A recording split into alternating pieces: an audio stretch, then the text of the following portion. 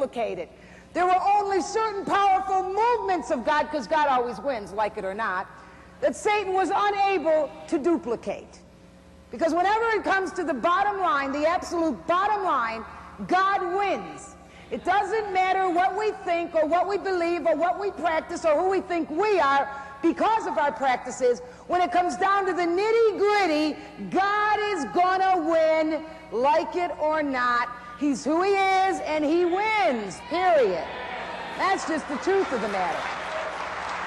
Satan is angry and he's out to cause a disturbance and destruction wherever he can. And his vision, his point is the young people. He wants the young people. And right now, ladies and gentlemen, it would seem that he is on the side where the young are really flocking and checking out his power. You just had a write-up in, in, in, in England, I believe, where two boys lured a two-year-old, how many know what I'm talking about? God help us, out of a mall, beat him to death, and put him on a railroad tracks because he wanted to see a train cut him in half. Somebody's two-year-old little baby. In America, we got a boy that is in the court system right now that we're trying with the death penalty. We're trying him as an adult. Who took his neighbor's son, how many read about that? Kid with the red hair and the glasses? Beat him and said he enjoyed watching him die. He says he was reading Stephen King books. So we have to face the fact, without any ado, that Canada and the United States, since that's where I'm from and you're from, are having a problem with witchcraft. It is an absolute problem. People think it's cool. I thought it was totally cool to be a witch. You could never have convinced me when I was practicing witchcraft that it wasn't cool to be a witch.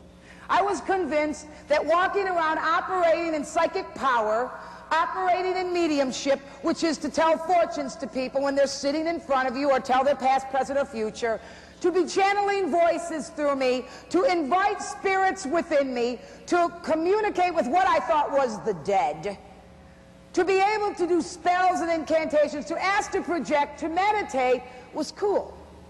And most people that knew me thought that I was cool because I did these things. The only problem is when you take up with the devil's kingdom, which is darkness, because God doesn't have any of that stuff going on in his kingdom. Ladies and gentlemen, there's black and there's white, and there is no gray. There's either the kingdom of God and the kingdom of Satan. There is no in-between ground. You cannot say that spiritualism is not serious and that it's okay because in the book God clearly states that he's against all of it. Now, you can go to the book of Leviticus and Deuteronomy, and he'll tell you he has nothing to do with any of that. So, anyone practicing it, being entertained by it, partaking of it, or seeking after it, is dabbling not in his kingdom, but in the kingdom of darkness. And when you dabble in the kingdom of darkness, as I know because I've been there, the devil is not a nice guy. He doesn't like anyone. He doesn't think you teenagers are cool. He doesn't want to give you anything you're not going to pay for. He has absolutely no ability to love anybody. He is the epitome of hate. When those kids took that baby and laid it on the railroad tracks, God had nothing to do with it. He is the epitome of hate, and he will promise you that he will give you everything you want if you go along these channels of his kingdom. And it doesn't work that way because I tried it, and he will turn on you in a heartbeat. He'll get you right where he wants you, operating in these things, thinking that it's wonderful, thinking you got all this wonderful power, seeing it work, and he will come in and he will let you know in no uncertain terms that he's going to kill you. Now, if you're out there and you're practicing and saying, this isn't happening to me, come and see me in a few years. This guy don't share nothing with anybody. He's a God, not a God as we know God, but he's an evil deity who hates mankind and has one desire for your future, and that is to kill you. I don't care what you give him, he will kill you because he is the epitome of hate. You must know that, young people. You can't walk in darkness and expect to get anything good out of it. You don't make pacts with evil for good. There is no way. White and black, choose which one you're going to 1931. The Bible says, regard them not. That means have nothing. Now, this is God talking. Ladies and gentlemen, this is God talking. This isn't somebody just out there. This is the Almighty God who has drawn this whole universe together and is holding everything in the palm of his hand.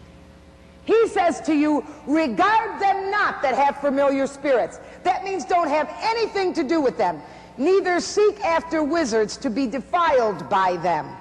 I am the Lord your God. Period. Now turn to Deuteronomy, if you will, 18 and 10. And let's start out with what God says before I get on my own tangent here. Since he is the ultimate authority. Deuteronomy 18:10. There shall not be found among you one that makes his son or daughter to pass through the fire. That's a pagan ritual rite. Or uses divination.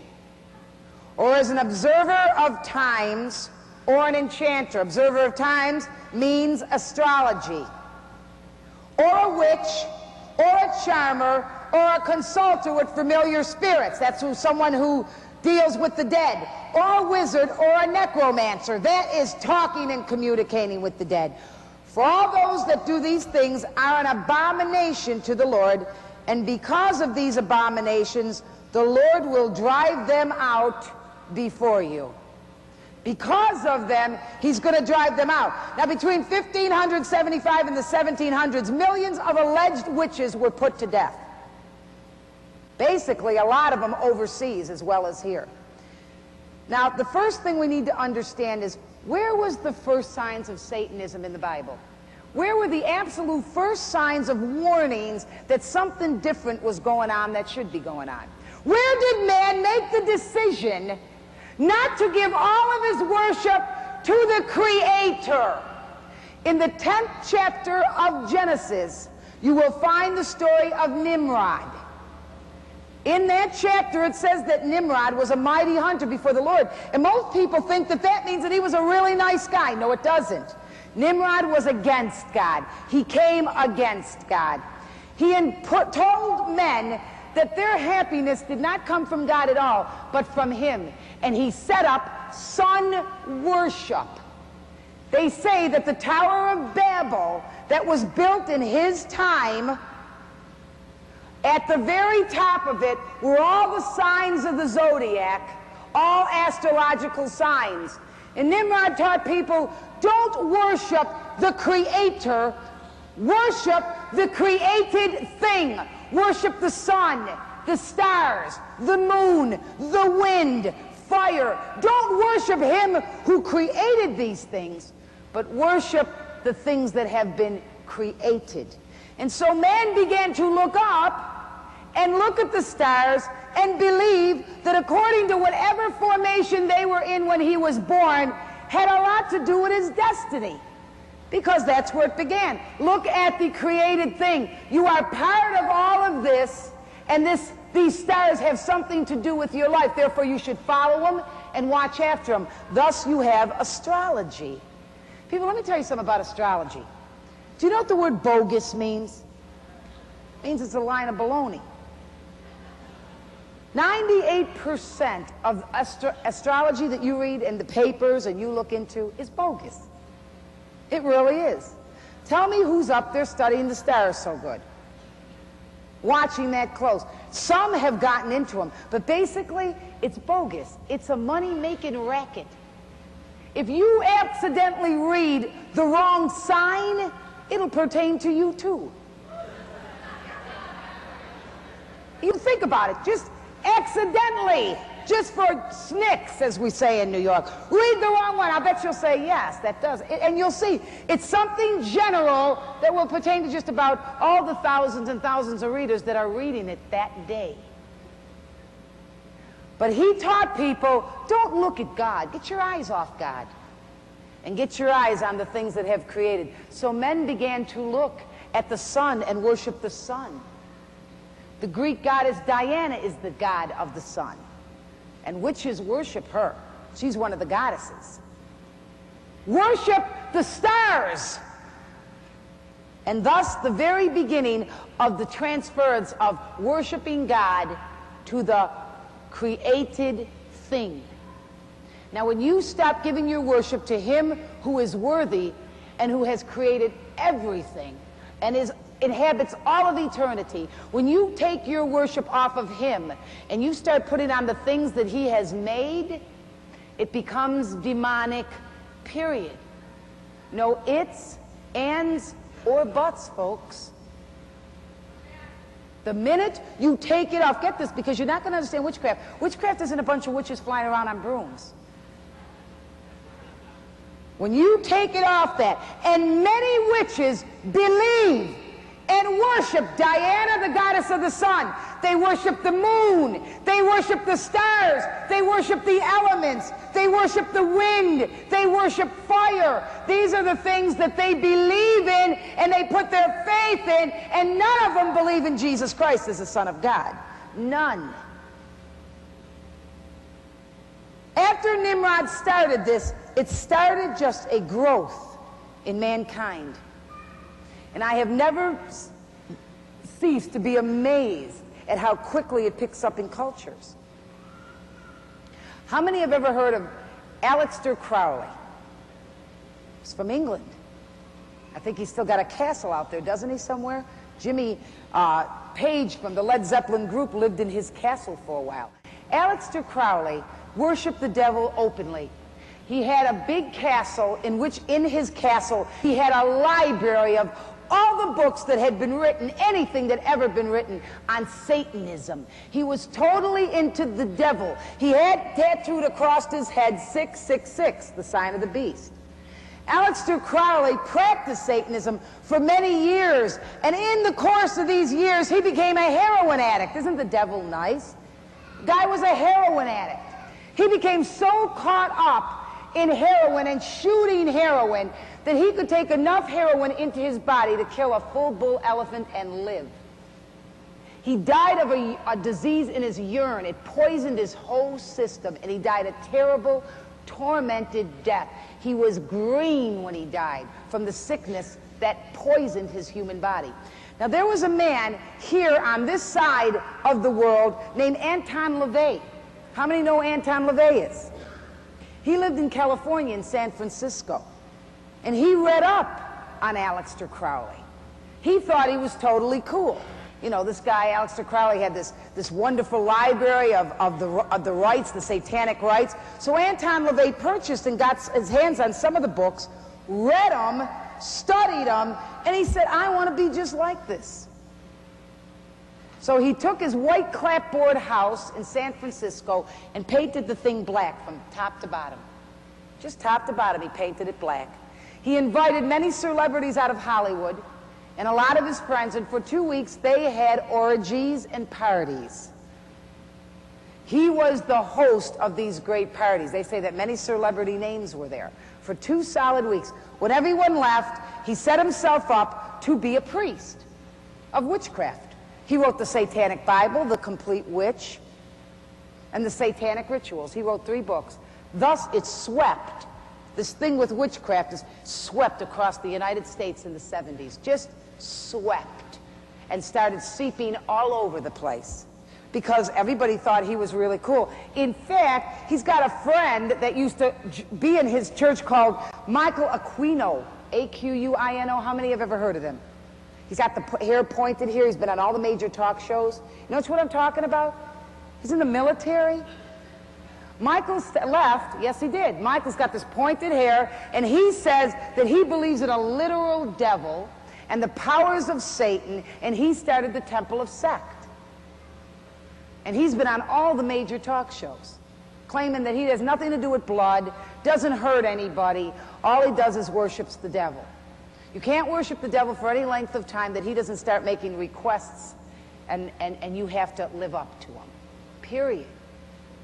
Ask a couple of people that are locked up for life today, facing lifetime sentences. I got saved. Had a woman come to my house. She walked in. She looked around, and I had all kinds of things from my past. I didn't know.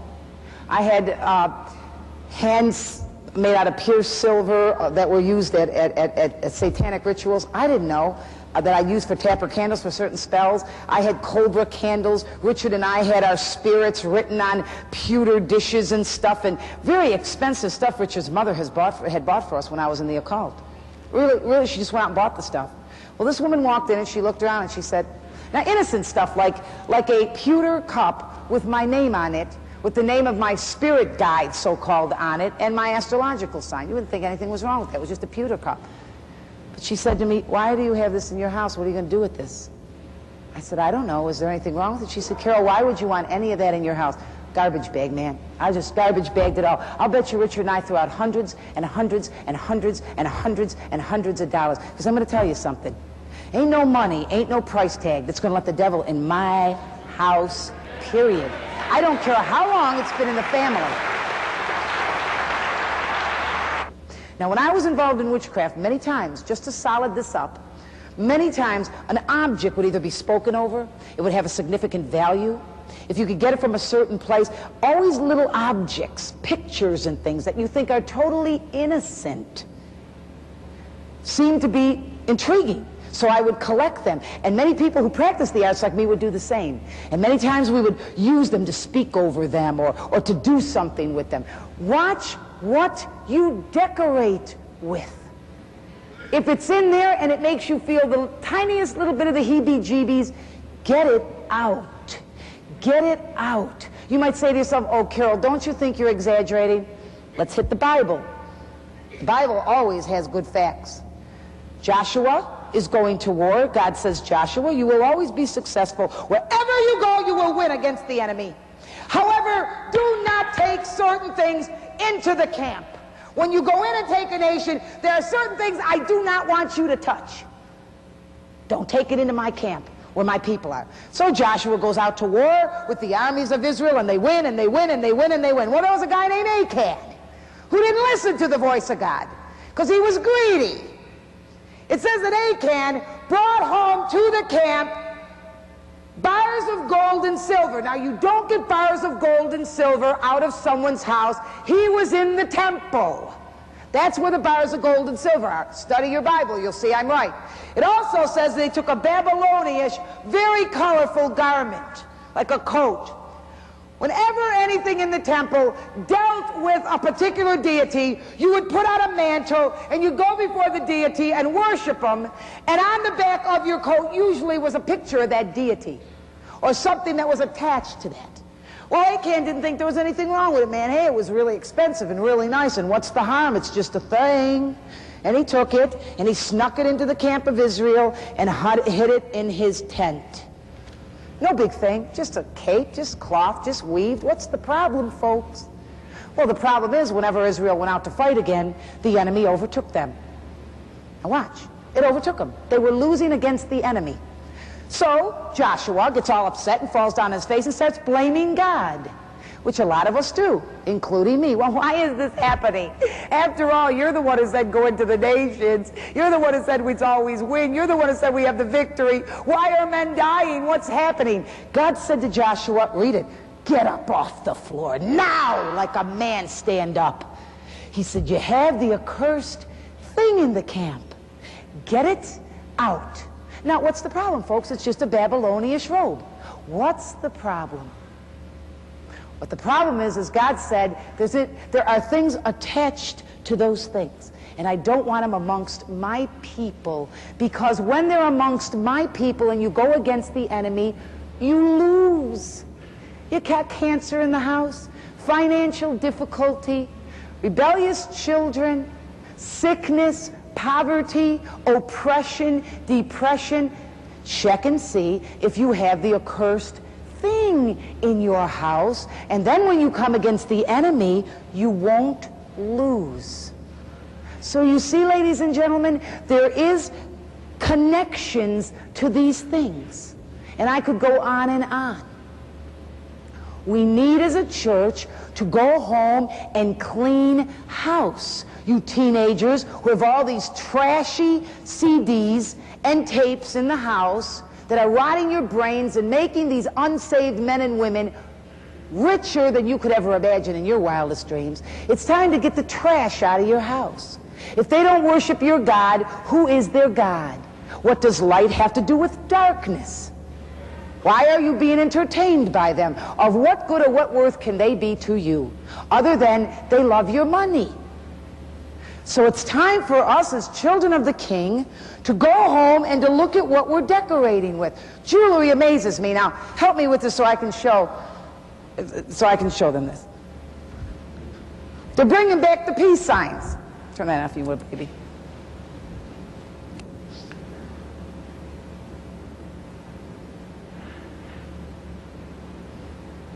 Now, remember I said he's so subtle? He just, he amazes me sometimes. Thank God for the blood of Jesus. That's a cute peace sign. A little broken. The circle should be perfect.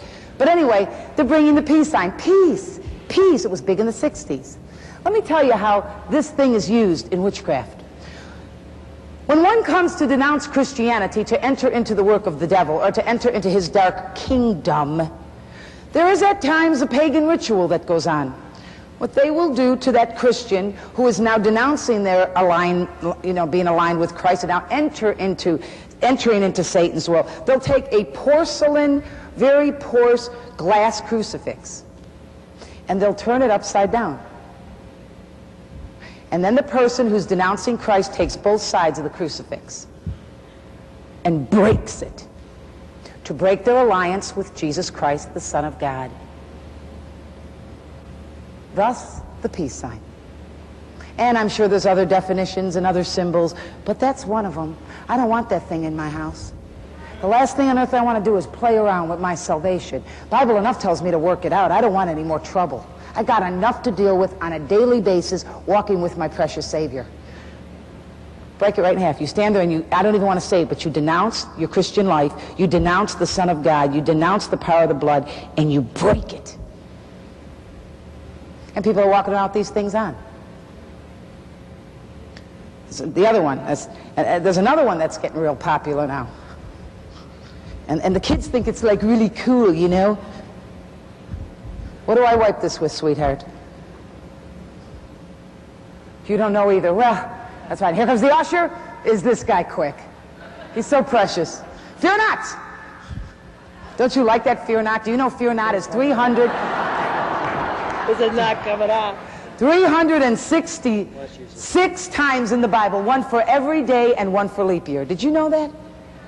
Okay, we'll go to a new place. Did you know that about fear not? It's in the Bible six, 366 times.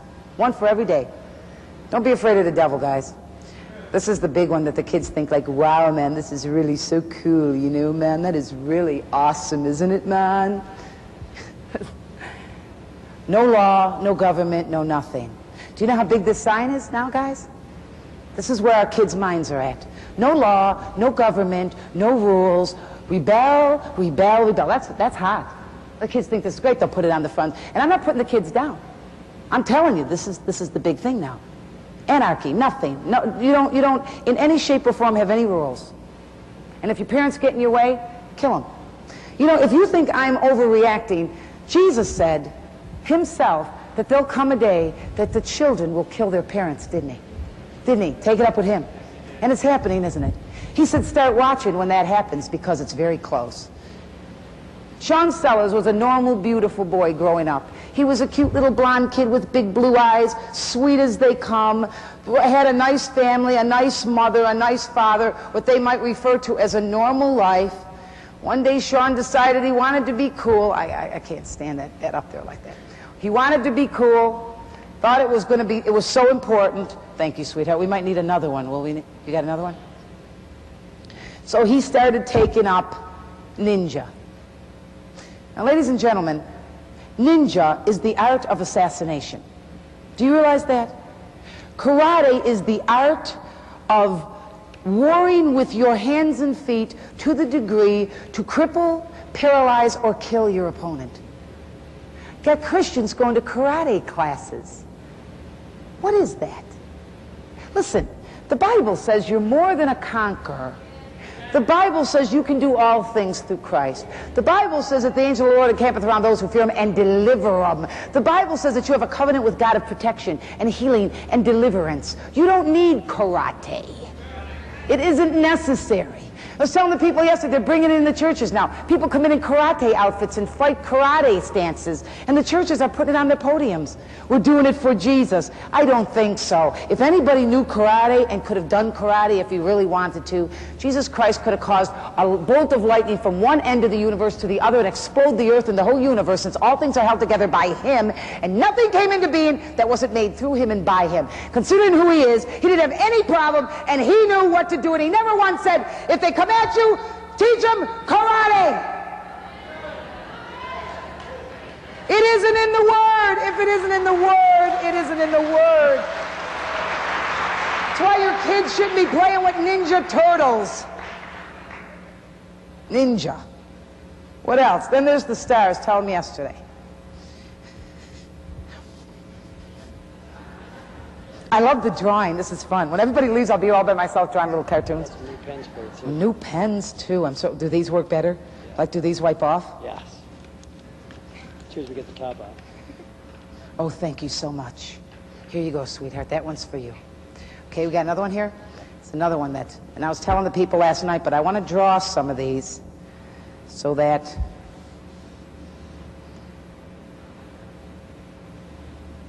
Oh, I drew it. uh, Tell me there's a slick there. Did I draw it on the on the mirror?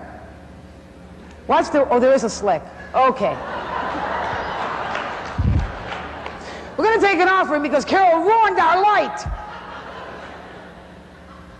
This is a big one too, and I was telling the people yesterday, I'm going to interject it because I am showing some signs and symbols, that this is the crescent moon, Diana, the goddess of the moon, goddess of the moon, and the star is the star of Lucifer, which witches and warlocks will say to you, that's not to be confused with Lucifer of the Bible. It's Pan, the shepherd of the woods, you know, and which one that is. It's and, and you see this, it's it's that one uh, weirdo that has the hoofs for legs and, and, and it's Pan. They, they worship him. This is the, some of the deities. And this, I was telling people, you will find on a pointed hat, which indicates the cone of power. And I was telling the people yesterday that the first time I ever saw that was on Mickey Mouse in The Sorcerer's Apprentice. Get your eyes open, ladies and gentlemen. First time I ever saw it, Mickey Mouse. See how subtle he is? Isn't it cute? Isn't karate cute? My little boy's got cute little white outfit on and he's choking people and hitting people in the jugular and hurting people. Isn't that cute? We don't need Jesus. We just need karate and the Ninja Turtles and the ooze. Samhain is said to be the god of the dead, and on Halloween Eve, he called up all the evil, wicked spirits to come out of the ground and to walk the earth.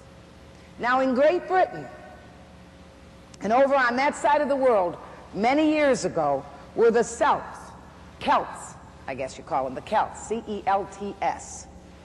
And they were a group of people who had priests called the Druids. The Druids were blood drinking, horribly evil priests. They used to take full wicker baskets and put human beings in them and put covers on them and light the baskets where you could hear the human beings screaming for mercy all around the villages. This was an offering to the god Samhain on the eve, which is Halloween. That holiday was so important to the Celts that their priests would go from house to house demanding treats and offerings so that those people within that house would not be harmed. This is what would happen, ladies and gentlemen. The Druids, who worshiped the devil, who had nothing to do with God, who had dragged the Celts into that abominable life, on that eve would teach them that these spirits, these go- goblins, would walk the earth.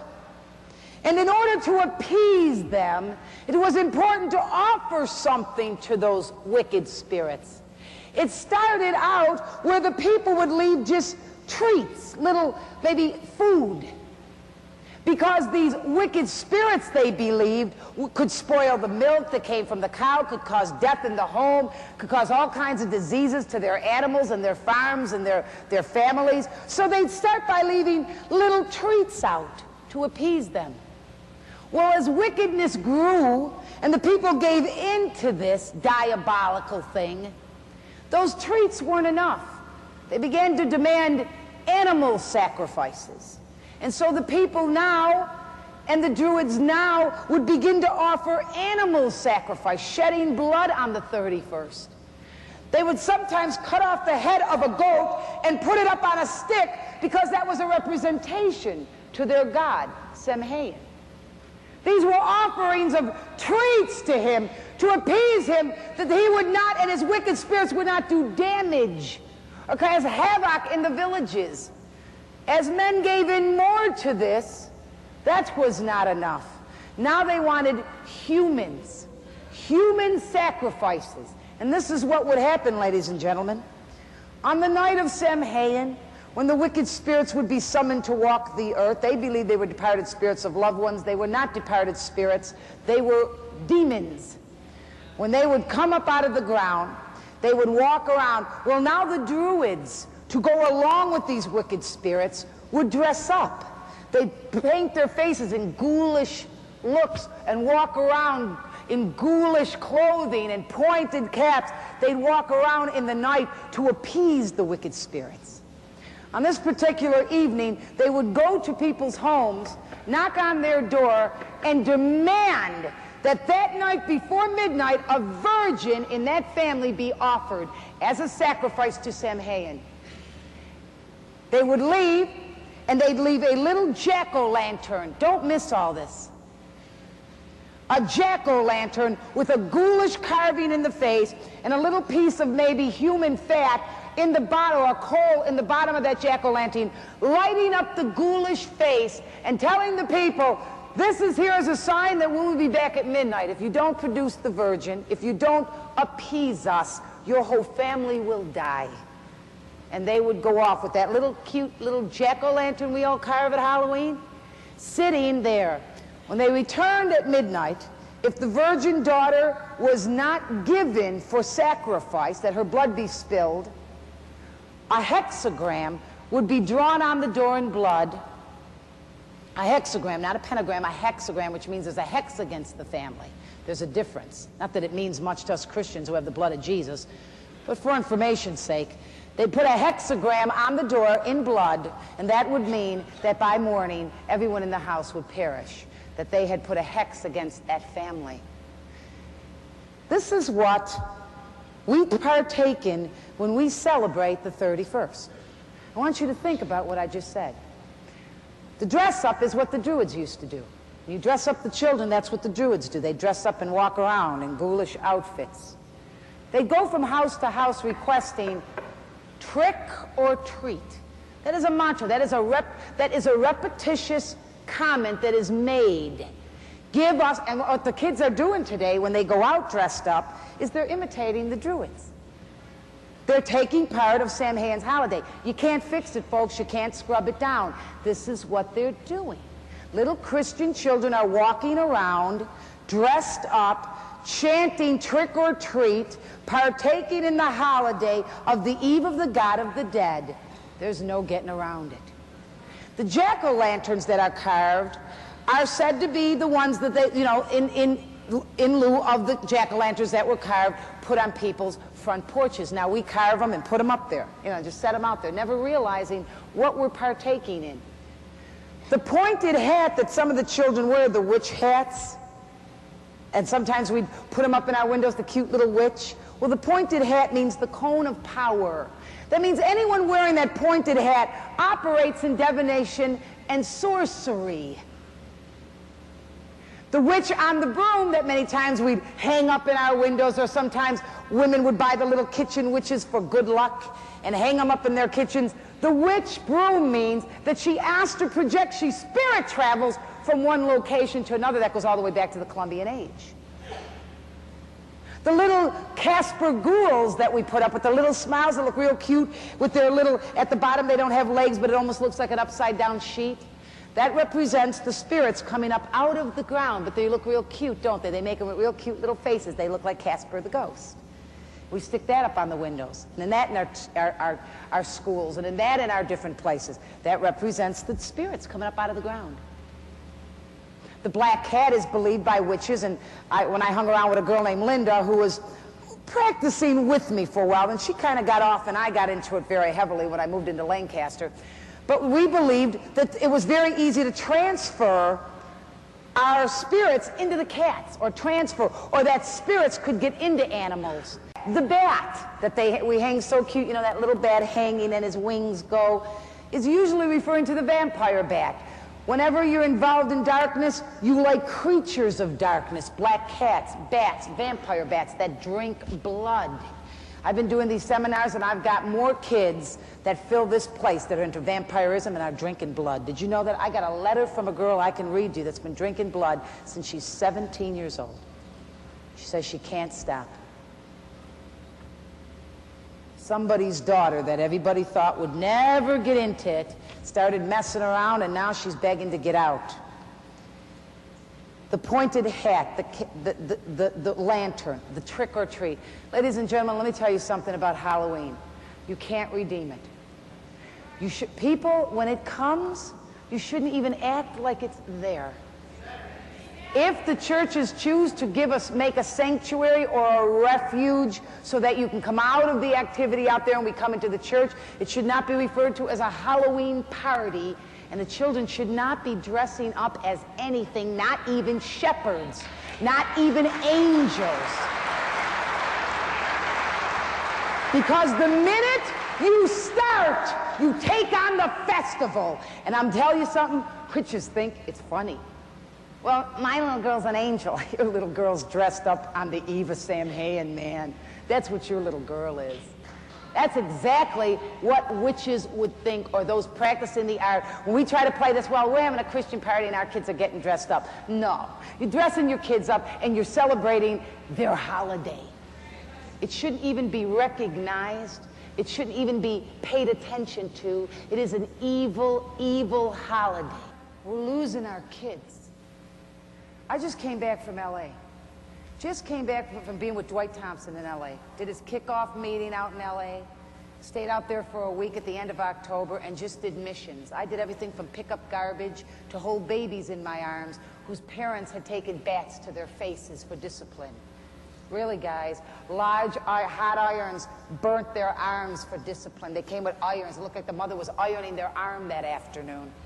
Little kids barefooted, beat up, cut up. I had teenagers that had kids before they were old enough to brush their own teeth. Girls coming in, young teenagers dragging kids with them. She must have been pregnant at 10.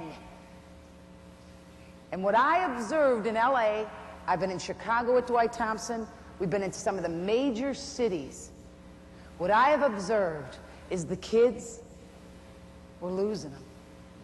They're desensitized, they're cold, except for those, of course, I'm sure you're sitting here going, I'm not desensitized, Carol Konecki. I love God. Yes, there are those too. But the majority of the kids in the earth, we're losing them. Do you realize our kids are killing babies? Do you realize what I'm saying to you? Those boys took that baby. I, am still, I just heard this yesterday, so it's fresh in my mind. I know you all been reading it for months. I didn't know that. Debbie Kazmierczuk told me at her house yesterday about this. I said, Debbie, we've lost our children. We got an MTV generation. We're losing our kids. Kids are being, their minds are being taken right out of their heads and they're being pickled. I, I don't envy anyone with small children because of the condition of this world. I bless your children. I thank God for your children. I know He's got a hedge of protection around them, but I'm saying I don't envy anybody with small children. Look at the condition of this world. Think about it. And do you know where it's really centralized? The kids. The kids. Because you see, ladies and gentlemen, you got to get out of the mentality that witchcraft is always a cauldron in the woods. People running around in the nude. It's that too. But there is a diabolical plan, and it is in motion even as we speak. And the devil is not stupid. He wants to bring down the church of Jesus Christ. You see, you are his target. He wants to take these young people that are committed to Jesus Christ and change their way of thinking. Now, if he comes in with a long red tail and he has big horns and a growly mouth and he walks down here, you're going to recognize him and you're going to avoid him. So he can't do that. But he's got to get into your home and into your church and into your mind. So, being the adversary he is, and being around as long as he has, and having what cheap diabolical wisdom that he has put together, he has to get into your home, church, and he does it every day by your TV set. Every day. That television is probably one of the most powerful instruments in that house. It can take you to Japan by pulling a button. It can fly you in a jet over the ocean.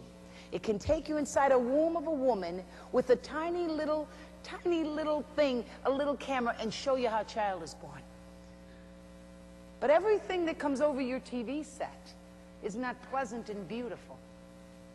I have never in my life if you would have told me 15 years ago they'd use the language that they do on TV, I wouldn't have believed you. I can't believe it. I take the garbage out once a day. You turn the TV set on, you got to take the garbage out constantly. What comes into your homes. Let's look a little bit. I want to share a little bit how witchcraft, Satanism, and violence. Listen, if you read this, you're going to find that the whole personality of the devil is violence. He's violent. The Bible says that when God destroyed the earth by water, when he looked out, he saw that men were violent, that violence covered the earth. There was total violence. And because of that violence, he totally destroyed the earth, lest eight people. The heartbeat of the devil is violence. Listen to me. That's his heartbeat. Because if he can get the seeds of violence into your mind or into your kids or into your babies, he's already got them. Hitler said, You want to take a nation? Take the kids. Get to the kids. He made sure his voice was heard constantly. Do you know he did more talking than sleeping? Every time they opened their ears in Germany, they heard his voice constantly speaking into them. Constantly. He said, You want nations? Take their youth. Napoleon said the same thing. You want to wipe out a nation? Take the kids. Get the kids. Hitler had kids go, nine and ten years old, to their death totally desensitized. Just go out and fight and die in 10 minutes in the battlefield. The cause for him. You can take the kids, you can take a nation, ladies and gentlemen. And right now, your kids, and you kids sitting out here, you're in danger. Unless we all start making some real serious changes about what we claim Christianity is and what it really is to us. Do you know? I turned on the TV in Canada. I turned it on in I, everywhere I go. I travel all over the place. I travel constantly. I was telling Ray today we haven't stopped since May. I mean, we started in May sometimes. I looked at my calendar. It seems like we never quit. It just keeps going, and I don't mind. You know, I am more than glad to do the to work the kingdom of God. But I says wherever I go and I turn on that TV on a Saturday morning, I like to turn it on. I like to see what's happening. Have you watched your cartoons, ladies and gentlemen? They're full of magic sorcery. Do you see what your kids are being taught? Do you know Papa Smurf, who everybody just loves because he's so cute and blue, got in a confrontation with some of the neighbors in one of the cartoons? Now, you're a little baby, you're babies, these precious babies. I'm going to start with the kids, I'm going to work up to the teenagers and then the adults. By the time we're done, God's going to sweep through this place. I'll tell you, you just won't believe what the Holy Ghost will do when you start cleaning house. But you're little babies, you're little innocent children. We're sitting in front of the TV at 7 o'clock in the morning. These kids that are in Sunday school on Sunday, these Sunday school teachers, bless their precious, darling little hearts, are trying to teach your children to love one another, to stay out of confrontations. If you get in a confrontation, use peace. They tell them that the God is love. Love your enemies. They're filling your babies all Sunday with the word, the word, the word, teaching them to draw pictures. Hug Johnny if you get in a fight. Love them! Then they go home, and on Saturday morning, just before church, the TV goes on. And then they see Papa Smurf, who's so cute, come out, and he's in a confrontation with some of the other Smurfs. So what Papa Smurf does is he draws a hexagram in the sand. How many saw that? Taught your kids how to make a hexagram. Do you have any idea what a hexagram is to somebody who doesn't understand the power of the blood of Jesus? If I made a hexagram against you when I was practicing witchcraft, you had to worry. Today, because of the blood of Jesus and the knowledge of that blood, you don't have to worry at all. Because that hexagram ain't nothing but a, a, a circle with a big star in the middle of it. But Papa Smurf taught your children, when he was in a confrontation, not to go and make peace with his accusers or his enemies. But he taught those kids, did, I don't know if you people saw, made a big pentagram in the, in the sand. Made, what? Showed your kids how to do it. Made the pentagram, the whole thing, excuse me, the hexagram, made it, and started murmuring over it. Now, your little babies, with their innocent minds, sat there and learned that when there's a confrontation, when there's a problem, this is what Saturday you do. morning, the TV goes on. And then they see Papa Smurf, who's so cute, come out, and he's in a confrontation with some of the other Smurfs. So what Papa Smurf does is he draws a hexagram in the sand. How many saw that? Taught your kids how to make a hexagram. Do you have any idea what a hexagram is to somebody who doesn't understand the power of the blood of Jesus? If I made a hexagram against you when I was practicing witchcraft, you had to worry. Today, because of the blood of Jesus and the knowledge of that blood, you don't have to worry at all. Because that hexagram ain't nothing but a, a, a circle with a big star in the middle of it. But Papa Smurf taught your children, when he was in a confrontation, not to go and make peace with his accusers or his enemies. But he taught those kids, did, I don't know if you people saw, made a big pentagram in the, in the sand. Made, what? Showed your kids how to do it. Made the pentagram, the whole thing, excuse me, the hexagram, made it, and started murmuring over it. Now, your little babies, with their innocent minds, sat there and learned that when there's a confrontation, when there's a problem, this is what you do. Do you know how dangerous that is? There's a new movie out called We're Back. The dinosaurs are back. How many people saw it? It's coming. I mean, it's, it's, it's fresh. It's, it's a Spielberg. Everybody just loves Spielberg. I've never seen so much New Age and so many sneaky things out of Spielberg in my life. I mean, he just gets... Woman, an unsaved woman said to my Christian friend Jackie Golba, she said, Jackie, I went to see they're back. The dinosaurs are back. It's just brand new. Spielberg put it out. It's coming. You're all, it's all going to be here. And she says, I don't think you would have liked it, Jackie. And Jackie said, why not? And she says, I don't know what it is, but for no reason at all, for no apparent reason, it had nothing to do with the movie. In one instance, he made some sort of a sign that looked like a pentagram in, in, in, in the ground. She says, Jackie, it had nothing to do with the movie. I don't even know why they put it there. And it's a kid's cartoon. How many have seen The Nightmare Before Christmas?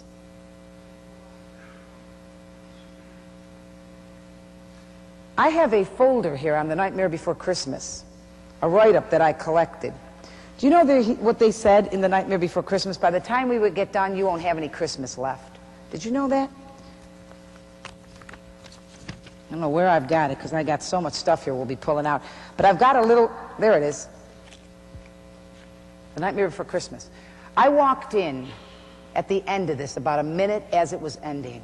Everybody is deformed did you notice nobody's cartoon characters aren't even normal anymore? They all got ugly faces and they're mean looking. And uh, like, did you see these cartoon characters from the night before? Now this is going to come to Canada, isn't it? Is it here yet? It's here. Yeah. Look at the 12 graves of Christmas.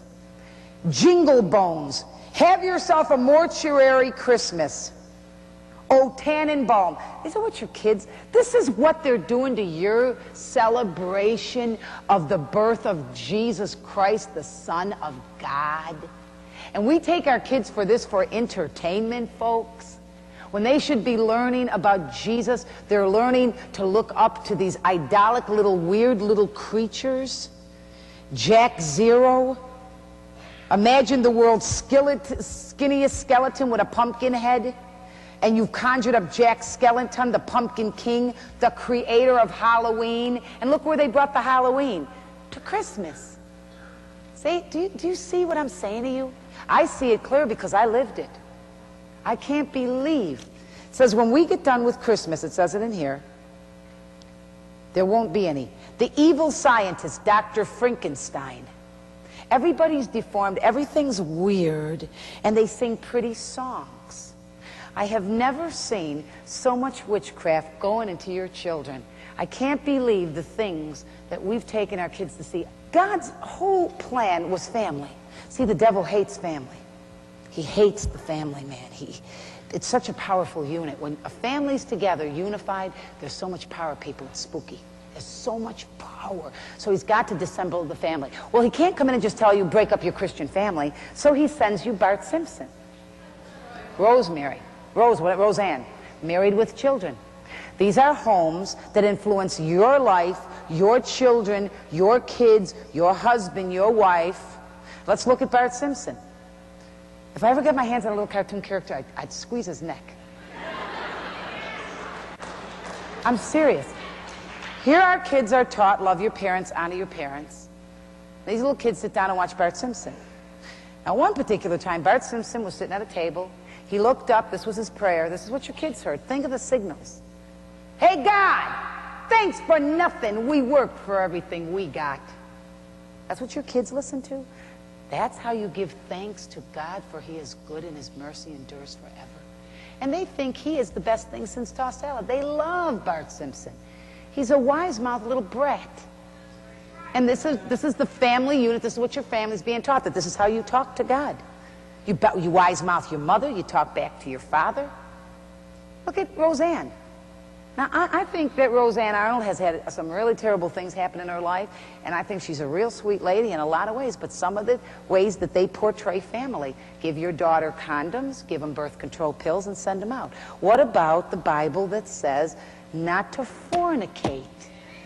It doesn't say in here to give them a pill. It says not to enter into immorality. It says flee fornication, flee youthful lusts. What are we supposed to do with this? Change it to suit Roseanne? I don't understand. I hear Christian parents telling me, well, if they're going to go out and do it, at least they're protected. I want to get sick. Protected? We'll get into that when we move up in another area. I don't want to move out of where I am now. We'll talk about all that. Roseanne, Batman. Batman. Where do these guys, well, let's, let's finish with Roseanne, married with children. The mother has a big mouth. She's a wise mouth woman. I've never seen her clean a house. I can't stand the sitcom. I hate sitcoms anyway, folks. I hate sitcoms. They bore me, period. I just don't like them. Give me an old, old movie that's nice and clean, and I can sit and watch it. I'm not against television, folks. I'm not a pure loony. Richard loves Discovery Channel and Christian television. My husband loves to watch an old movie, but the minute it starts coming with the trash, he wants out. He'll come out of the room like a, what are you, what, what, what's on? It's like, I don't, I don't know. Where's the channel selector? I don't know. And I'm worse than him, and people know it. I've gotten into fights with very good friends over programs in their home. Saying, I can't believe you're letting your kids see this. What, what kind of a message does that send to your child? What kind of a family orientation and family unit idea or ideal are they getting from what they just watched? Married with children, they call the daughter a SLUT. I mean, what is that? She comes out half dressed. The father sits there like a total dweeb. He don't know what's happening half the time. Bible says that he's the priest and prophet. You watch Married with Children, he's not the priest and prophet. He's a jelly belly nothing. The Bible says, wife, be submitted to your husband, but the signal is, wife, tell your husband what to do, when to get up, what to say, and embarrass him every chance you get. The Bible says, children, be obedient to your parents, love them, obey them, honor them. They turn on the TV set, the kids talk back to their parents. I'm going to tell you something. We got a problem. And 99% point nine is coming through your little box in the living room. Folks, if the, if the TV is not a God or looked at as such, why does every chair in the living room face it? If it's not an idol. Come to church and find the farthest seat in the back, but boy, when that TV goes on, everybody, you always say, get away, the radiation burns on your eyes. Move back, you're getting radiation burns. Every chair in the room has to face the idol. People say, I don't hear the voice of God. Of course you don't, because the first voice you hear in the morning is your TV, and the last voice you hear at night is your TV. How do you think God's going to get through all that? And the toys the kids are playing with. Huh. The toys. X-Men! Uh, this guy's real popular. Him and, and, and the universe and, and, and the Keepers of the Stone and the Troll Dolls. I don't believe the things Christian children are playing with. How are they ever going to learn peace? That's what the kingdom of God is. Peace and joy and righteousness. These things will never, ever make it. X-Man. Check this guy out now. Wolverine is the X-Man's greatest fighter, a master of all forms of hand-to-hand combat. I only know one master, his name's Jesus Christ.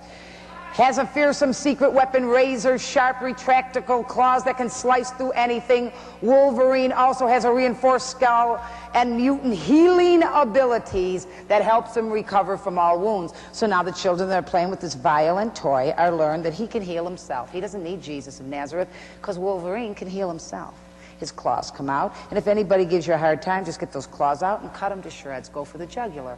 Or take one of your nunchucks and hit him in the throat from your Ninja Turtle toys. Or give him a swift hit to the jugular, and that'll put him down. Or go and meditate to the ooze, and maybe that'll give you power through that rat so that you can have power over your enemies. Or turn on the, uh, the, the, the, the Smurfs and learn how to do magic. Or watch one of your Disney things and learn that magic and sorcery and mysticism is an everyday life. And then we wonder why we got problems with our kids. God help us all. The toys. Then they collect cards. You know, kids love cards. Another thing I can't believe, these troll dolls. Everybody with the troll dolls. I remember how popular they got. Were they popular here for a while again? Do you, have you ever thought about, have you, have you studied the troll doll? Trolls live under bridges. They're evil. They come out at night. They got the big eyes so they can see at night. They got that ugly hair that you can never fix and it's orange. The kids are told to rub their bellies and speak to it. Now, when I was in witchcraft, I always believed in having a juju bag. And you put all kinds of things in a juju bag, you know, and you talked over the juju bag. It was crazy. But, you know, can't believe I believed in all that mess. And, and you just fill that juju bag up, and there was always a transference. You either chanted or you talked over things. These kids are taught with a troll doll, rub its belly, speak to it. Keepers of the Stone is another toy the kids get. Hiding the stones, keeping the stones. They're taught to rub them, carry them in their pockets, speak to them. They carry power. What are these kids playing with?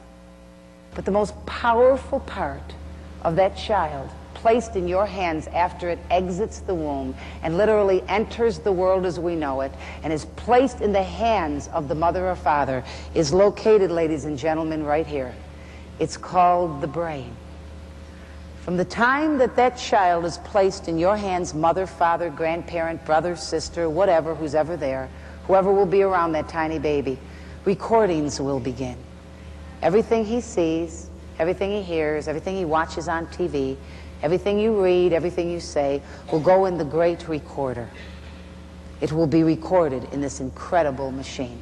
You literally will create this child by what you feed into the machinery because he is what he eats. What he takes in is how he will respond. By the time that child reaches the age of accountability, you will have formed him by your deposits, by your recordings. What have you recorded, ladies and gentlemen? What has he watched? What entertains him? Does he get three and a half hours of cartoons here and one little prayer over supper over here? In the great recorder, what have you recorded that will be life changing and relevant for his total forming and growth and Christian walk.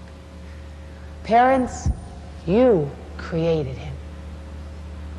He is what he has been given.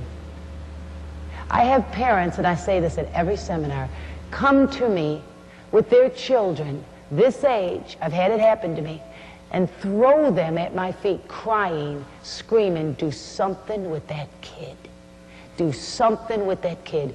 And I pick that kid up off the floor and take him in my arms and I turn to those parents and I say, what have you allowed? What have you said yes to? What's in the recorder? You put it there.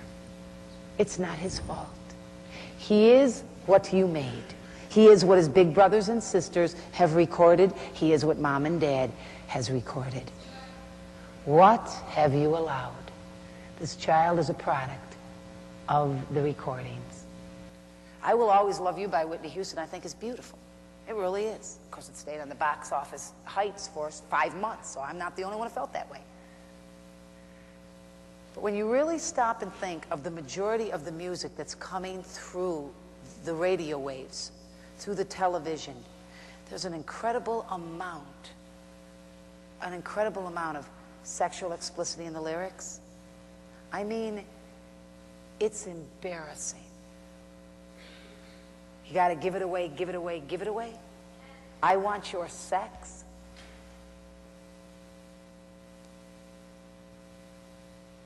Some of the acts on the music stations, such as MTV, do you get MTV in Canada like we get in America? Our kids are on MTV. Civilization, aren't they? When I think, you know what the only way to do is to read some of the lyrics. Now, don't get panic stricken, pastors. I'm going to be careful. I give you my word. Because I've got pastors go, she's going to read words. She's from New York and she's blunt. Is she going to embarrass us? Let me show you something, teenagers. It breaks my heart that we come to church on Sunday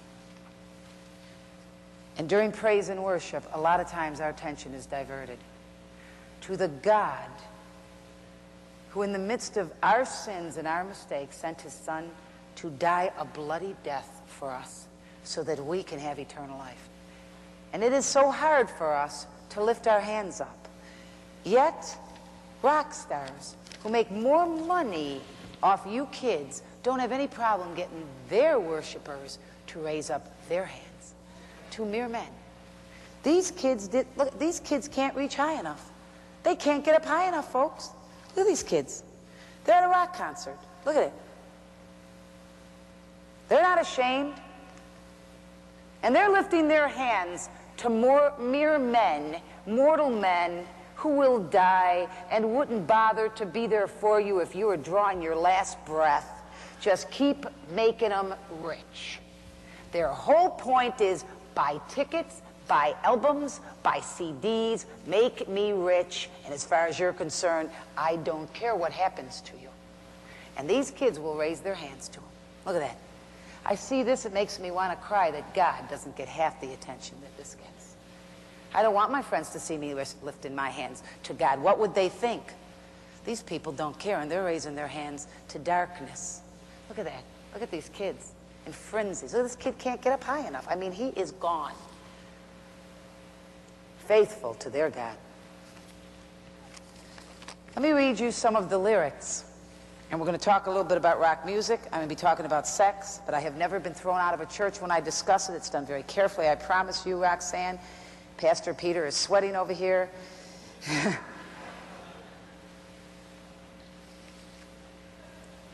Motley Crue. Not too young to fall in love, not a woman, but a W H O R E. I can taste the hate while I know I'm killing you, watching your face turn blue. These are what the kids are listening to. These are lyrics. Don't get mad at me. Some of it's going on in your homes. Out go the lights, in goes my knife, pull out his life, consider the blank dead. I have lost the will to live, simply nothing more to give. There is nothing more for me. I need an end to set me free. Put the bullet in the chamber, put the bullet in my mouth. Six to one, I'm going to make it. One to six, I'll snuff me out. This is what they listen to? Teenagers, what's going inside you? Are you, are we so, and I'm not putting you down, I'm reaching for you. Are you so cool that you really believe this will not affect you? That's a joke. I was at a concert, and, and Ray's sitting here. Ray grew up with, he knows the mess I came out of. With a guy, we went to a concert with Lenny Vichotic. He's dead today, he killed himself. Ray'll tell you, killed himself. But we went to a concert with him, Richard and I, and we were all high on drugs, you know, and thought it was like really super great, you know, and all that mess. We were listening to the music, and Lenny was standing in a bleacher. It was in an auditorium in America, and the, the bleachers go all the way up, and the place was packed. They had what they called then quadrasonic sound. It was so new, it was a sound that just surrounded the whole stadium. And Lenny is standing there with a guy next to him. And way up on the top of the bleachers, a man stands up, a kid about 17 years old, and he's looking down, listening to this music. And he thinks, wow, this is so great, I can fly. And he jumped off the bleacher, four or five bleachers up, and landed on the guy standing, I don't know if it was right in front of Lenny Vachotic or right beside him, and killed him. Two policemen were saying that they went to a concert and they, it got so violent because now the thing at the concerts are to throw somebody up above. Have you seen that in the MTV now? They throw somebody above and then they, they're on their hands. Do you know how they toss? Respond, so I know if you've seen it. Do you know what I'm talking about? And then when they fall, they all kick them and beat them up and stuff, and you know, it's a big thing. And then sometimes the rock star will jump right into the crowd and land on their hands, and they toss him around and put him back. They'll put him back because they want him to finish his gig. But somebody that gets tossed around in the audience is thrown down on the ground usually and beat up. They have broken legs, broken arms, some eyes have been put out. Did you know that? Policemen were saying that at one of the major concerts, I'm not going to name what, they were taking a young man out 14 years old. And they said they had him under their, their, like under his arms and they were dragging him because he wouldn't walk.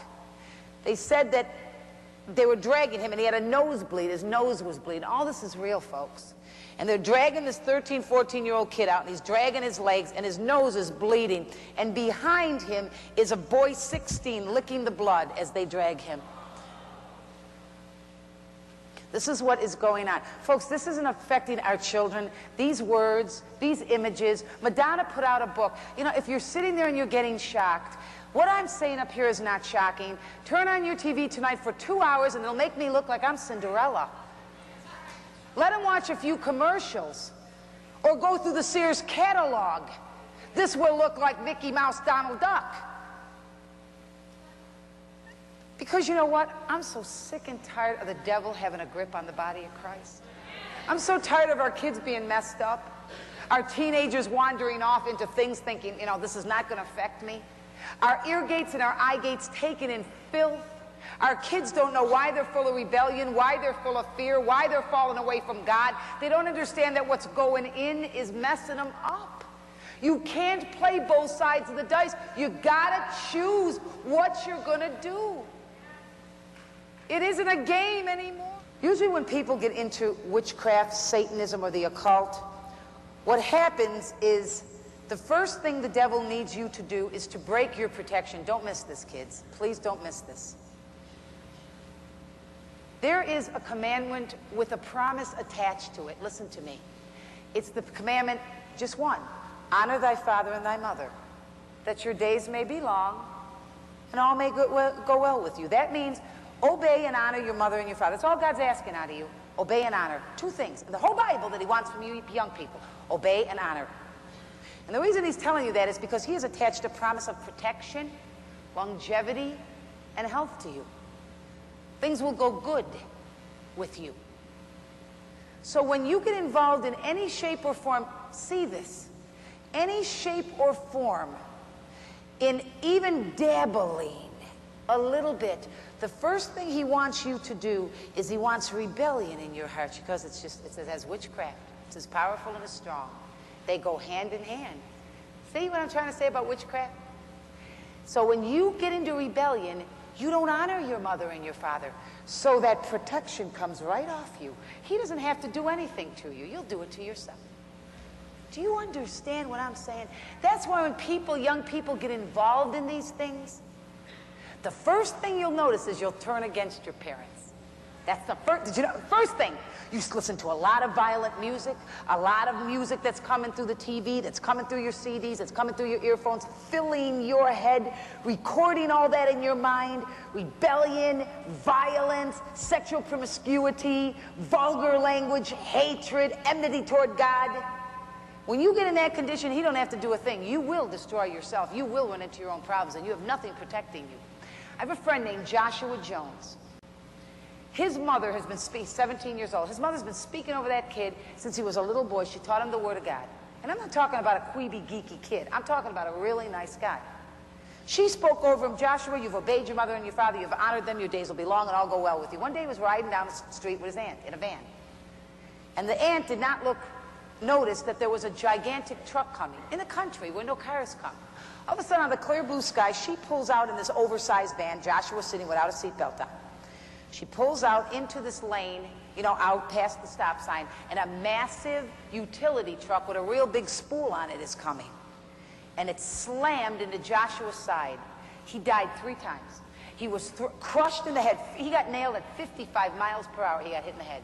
With that thing just hit him head on, 55 miles, smashed him, threw him. He was a very strong, large kid, about 200 pounds.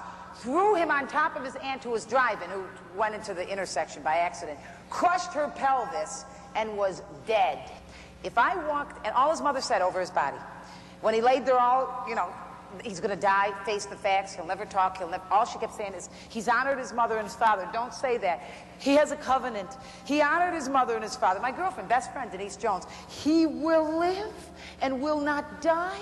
I have a covenant with God. He's perfectly fine. How did he come out of that? He honored his mother and his father, and the devil couldn't kill him, even though he tried. You see the point? You gotta keep the protection. That's a promise, and considering who made the promise, I'd run with that one. I mean, when God makes you a promise, you can take that to the throne room of grace. That one's solid. Dungeons and Dragons. Dungeons and Dragons. Here's a game, ladies and gentlemen, that some war enthusiast, Gary Gygax, made. He sat down one day and he put this game together. He called it Dungeons and Dragons, him and his friend. He put the game on the market. Nothing happened. Absolutely nothing. So he pulled the game off the market and he called his friend. He said, let's pick up the game more. Let's get 21-sided dice. Let's get characters.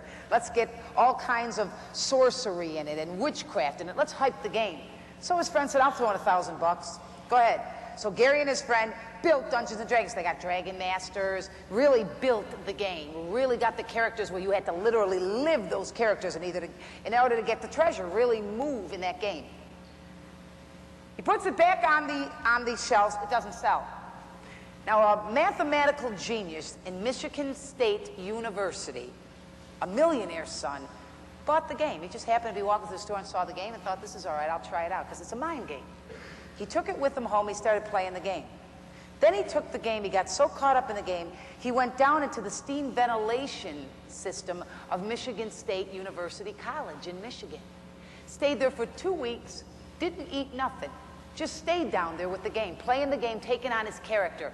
Now, steam ventilation is when the steam will come real quick and it'll shoot down and shoot through these ventilation tunnels. So he had to always be on guard not to get in the way of the steam. So it was a challenge to him in his character, and it enhanced the game to him. For two weeks he stayed down there. He finally emerged pale, gaunt, hungry with the game under his arm. Well, the media got their hands in it, did a big write up in the paper. The game that year made $2 million. Today it's one of the top selling games. You go in bookstores, it's one of the few games that has their own section to themselves. Can you imagine that? Monopoly would love it. I mean, they got the whole section, Dungeons and Dragons, books, follow ups. It's one of the fastest selling games. 168 deaths are attached to Dungeons and Dragons. You might say, well, you know, listen, ladies and gentlemen, one death attached to Dungeons and Dragons is too much for me. These kids said, a game, folks, it's just a game. I had a woman come to me at one of the end of the day, she goes, I don't know why you're attacking Dungeons and Dragons. And I said, I never attacked the game. I told you about the game. If I attack the game, honey, you're going to know I'm attacking the game. I talked about the game, sweetheart. I told you about the game. I read you stuff. She said, well, I don't know. I play it with my kids and the neighbors. I said, that's wonderful. That's just wonderful. Daytona Beach. After being stalked, strangled, and raped, the young runaway was subject to a final abomination. Her body was burned to, to Satan. Tammy was eliminated as if she were a Dungeons and Dragons character.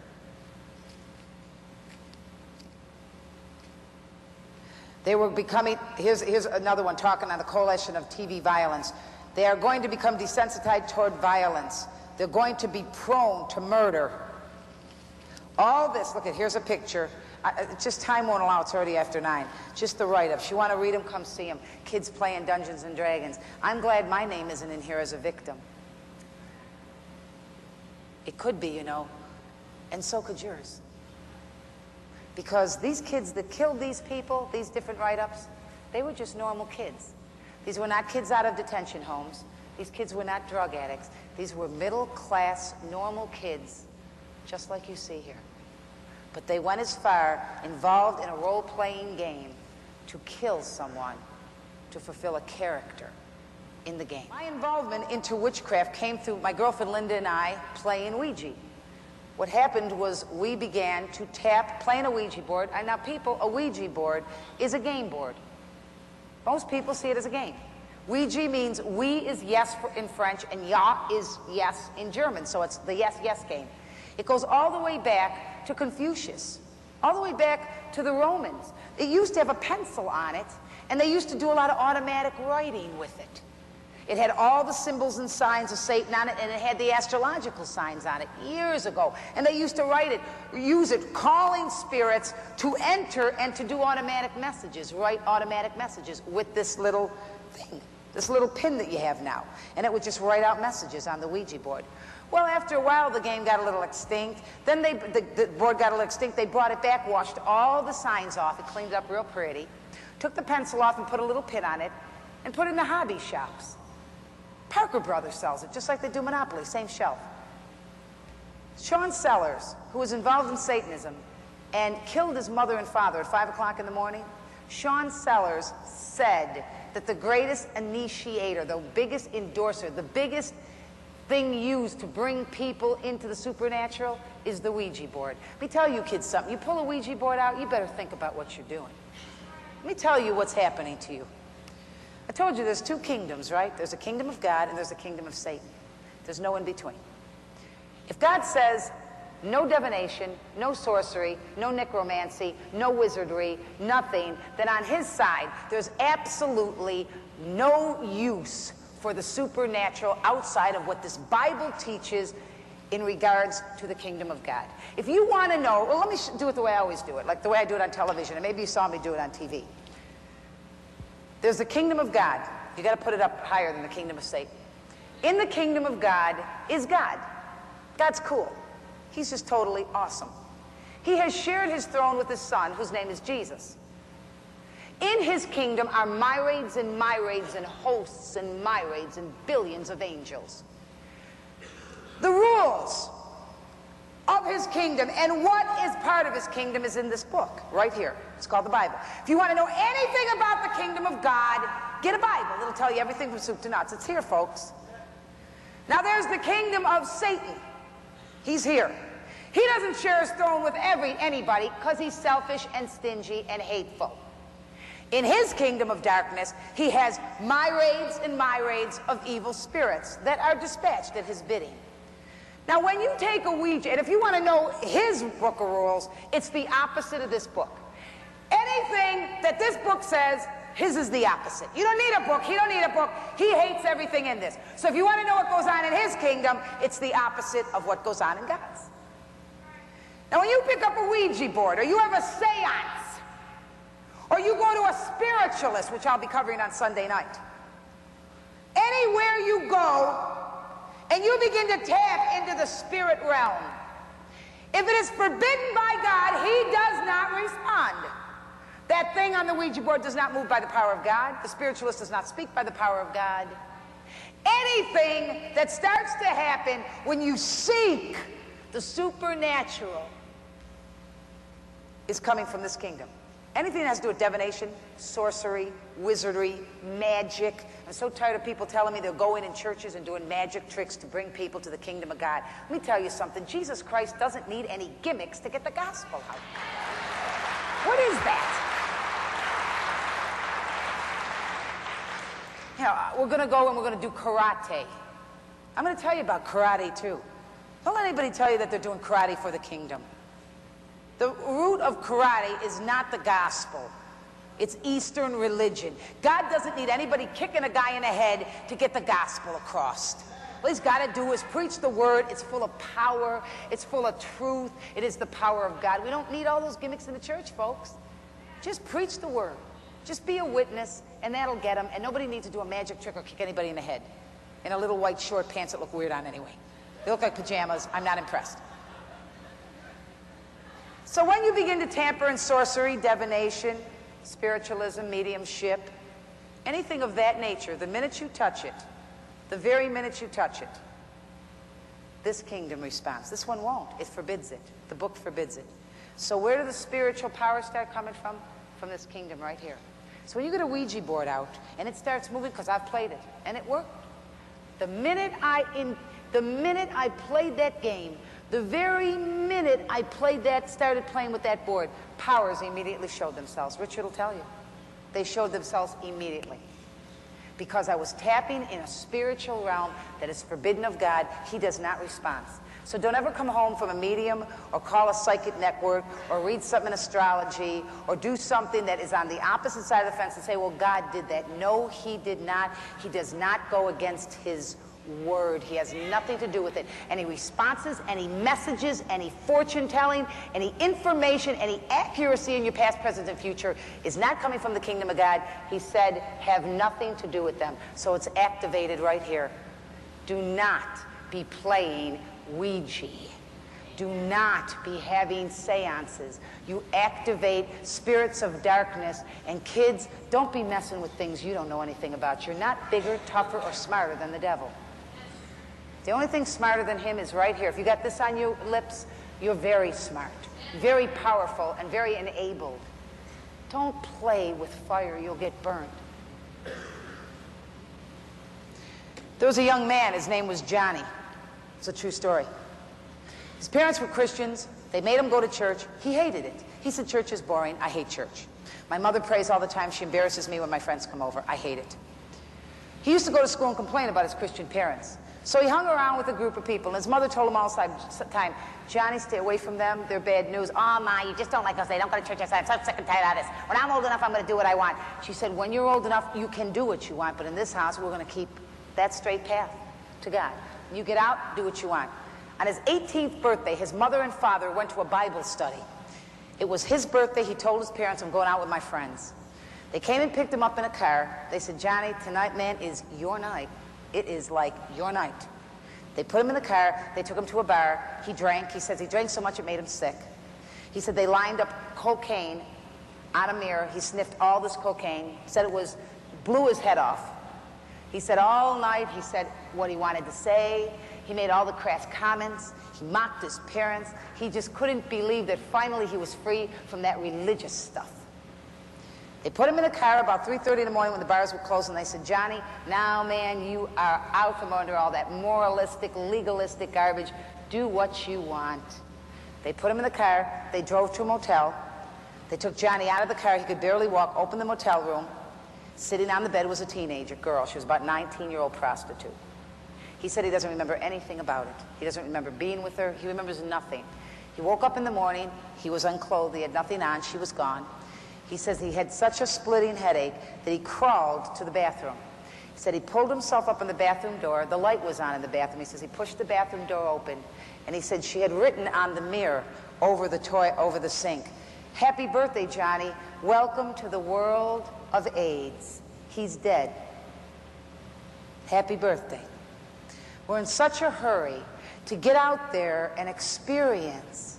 You know, kids, when I was a teenager, we didn't have the transmitted, sexually transmitted diseases that are out there now. I just did a television program on sex in the 90s. They're saying now that they have sexually transmitted diseases they don't even have names for. They have a new one out. I don't even know the name of it. I don't want to get into it. That's not what I'm here for. I'm just trying to make a point. That if you get it, it'll kill you. And you can't even see it, and you don't even know it's there. Madonna gets up, who's washed up now, they don't even bother with her anymore. She gets up and she sings, it doesn't matter if there's multiple partners, doesn't matter if you're with women or men, doesn't matter what you're with. It's okay and it's cool. Do what makes you feel good. Be free. These rock stars and these rappers get up, they sing about violence, racial slurs, racial violence, sexual comments that are so bizarre I can't even say them from the sacred desk. So sick. talking about murder, killing, your sis- getting with your sister, being with your mother. I mean, it's sick. This is a temple of the Holy Ghost. This is a temple of the Holy Ghost, folks. What's going on? The devil hates your guts. Time's too short to play games with you. He hates you.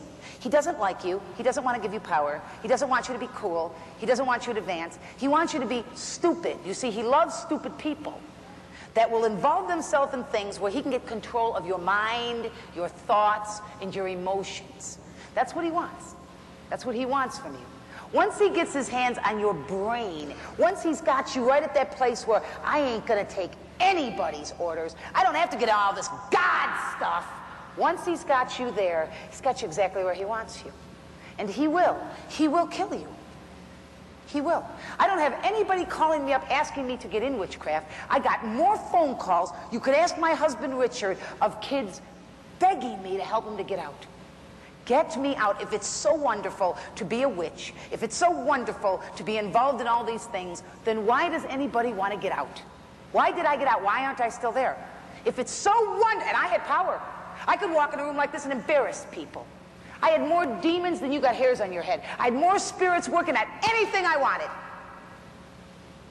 I could get any guy I wanted. I'd get any drug I wanted.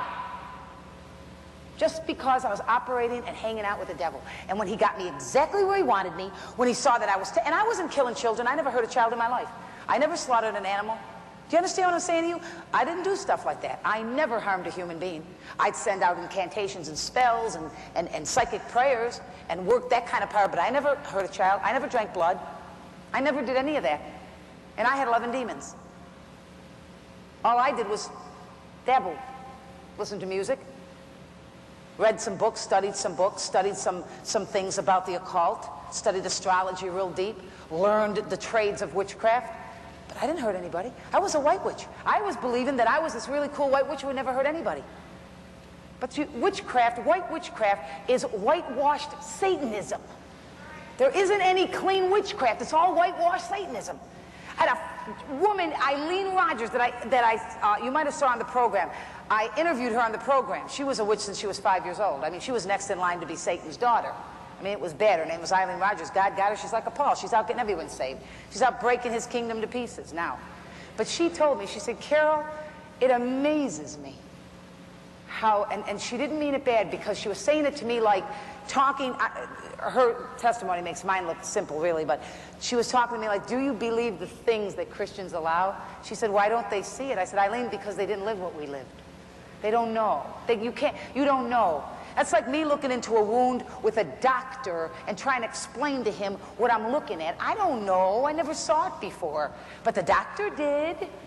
So you see, when you look through spiritual eyes, now washed in the blood and filled with the Holy Ghost, and you see people dressing up their kids, games in their house, Nintendo toys with weird stuff, teenagers walking around with earphones, you know, they're in church on Sunday, they don't even want to raise their hands, but man, you give them Marky Mark, man, and they're like, there, you know, it is so, you know, and whoa, you know, it's great. And then the Son of God comes along and they're embarrassed that their mother prays. Something's wrong. Something's very wrong, ladies and gentlemen. It, it, it's, it, this is the reason why the church is hurting. How can God dwell in our homes? Teenagers, listen to me. I got a daughter. Her name's Marilyn. She's the only one I got. Let me tell you something. I wouldn't let you touch a hair on her head for your sins. I wouldn't let you touch a hair on my baby's head for what you did wrong. I'd let you pay for your own sins. And she's just a person.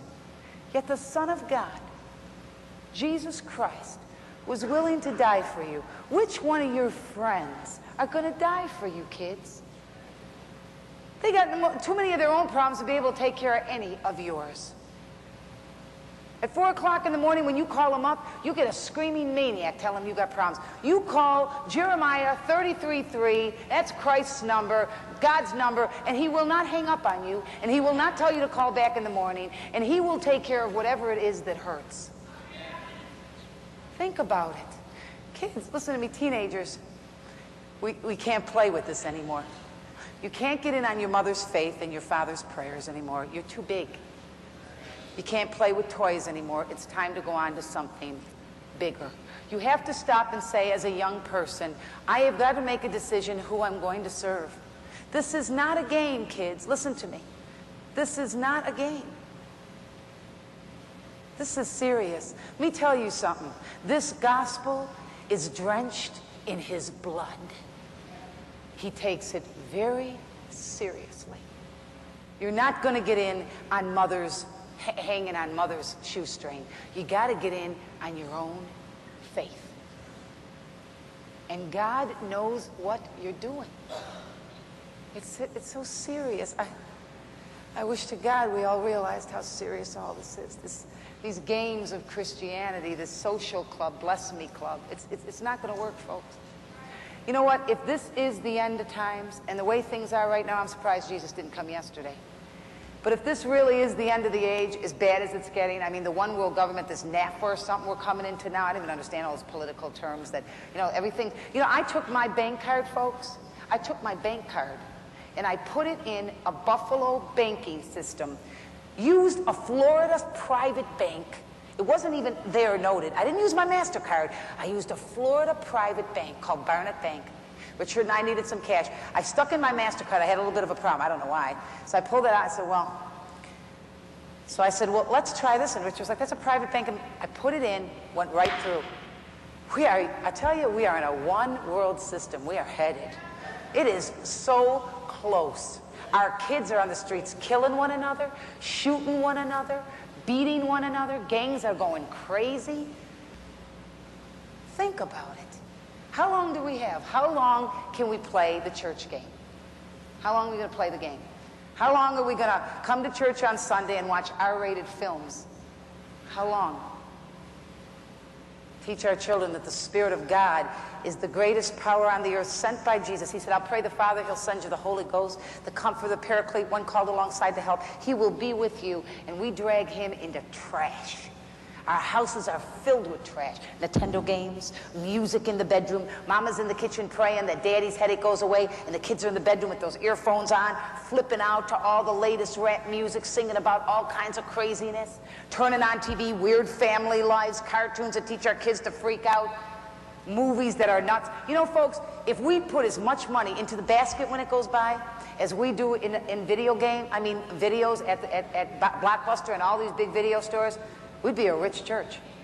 We'll pay six bucks for two films to listen to GD, use the Lord's name in vain, filthy four letter words, sexual nudity, and we'll put that money out there in that, in that video store without a thought. Bring the card out real proud. Yeah, that's right, that's my card. I want these. And then the basket goes by, and you mean you want my money? What do you mean you want my money? Think about it. God help us all. There's a movement called New Age. New Age is vast, there's a lot of it, but it's seeping into Christianity. It's getting in. And some of the things that they do in the New Age movement are being practiced by Christians. It's very dangerous. I practice Eastern religion for I'm not sure how many months. I was really into it, though, very into the meditations, very into the astral projections, very into to, to all of it, getting down into different states of consciousness. I was into all of it. It's extremely dangerous. But because the children of the world now are having problems coping, they're trying to find new methods to calm them down. Many of the schools, many of the colleges are interjecting transcendental meditation. I was at Pastor Benny Hinn's on a Sunday, and he makes us sit in the front because he wants us in the front praying if there's a need. He called us up one day, and I went up to a little girl to pray, about 13 years old, and she said, I don't know what to do. Little Christian girl. I said, What's the matter, baby? She said, at school the other day, the teacher told me to get to invite the Spirit. And I said, What are you talking about? And she said, Carol, I already have the Holy Ghost, but the teacher said invite the Spirit guide, that he would help me with my homework, and he would help me with this, and he would help me with that. And I said, The teacher? And she said, Yes. And now he torments me all the time. And I had to pray for her. It's getting in.